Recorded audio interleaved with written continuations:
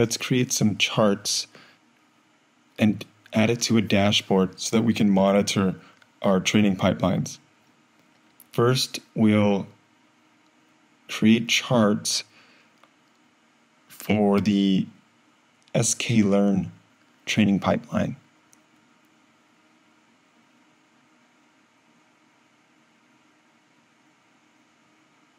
Let's add some tags here though, just like we did for the XGBoost model.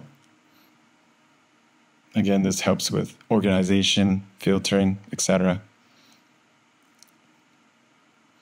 Let's go to the dashboard, and every pipeline can have its own dashboard.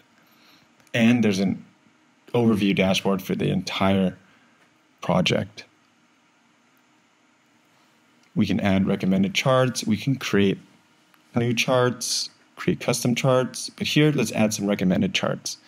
And these will simply show the different triggers, the runs, successful runs, types, all that good stuff.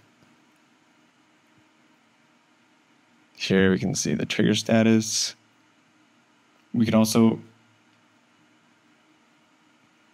click on a new trigger and create a new one, create a, new, a different type so that we can see what it looks like when it shows up on the dashboard. No, we don't have one there. We'll just create a API trigger. And we come here, they'll refresh, and you can see there's a second trigger type.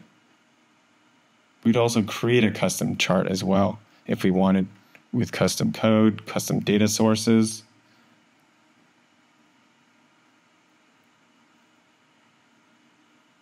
And here's our dashboard.